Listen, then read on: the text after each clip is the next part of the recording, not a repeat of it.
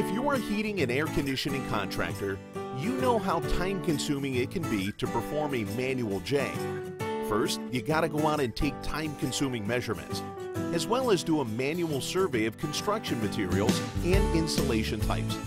If that wasn't bad enough, back at your office, you gotta spend even more time entering the survey data into complicated programs. There's got to be a better way, right? Actually, yes, there is. It's called CoolCalc, and it's revolutionizing the way contractors like you perform a manual J.